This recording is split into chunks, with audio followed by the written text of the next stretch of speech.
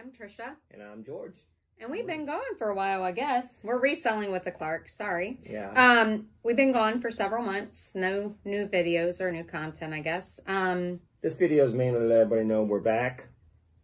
Um, um, we have been very busy moving from Virginia over 600 miles to Ohio.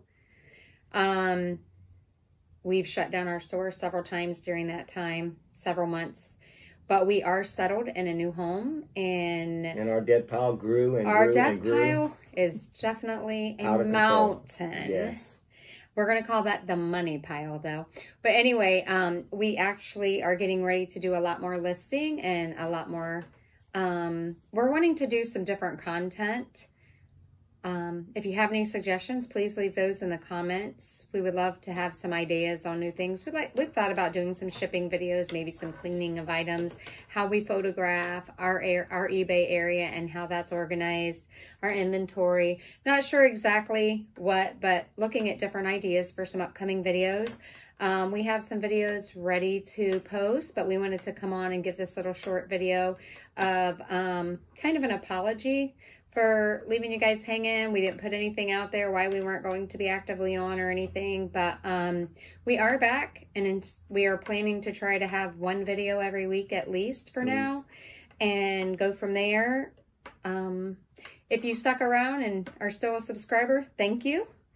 Um, if Appreciate you, your support. If you enjoy haul, thrifting hauls, um, estate sales, We've done them all. We've lockers. done storage units. Um, I would like to. We're looking at getting a GoPro and maybe do some thrifting with us. Yeah, um, some packing and shipping. Um, like I said, cleaning video, just a variety of things we'd like to put out.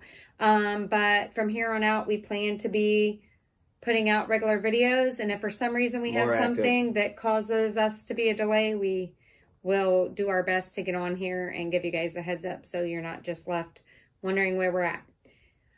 Um, I I guess that's everything. Do you have anything? Nope.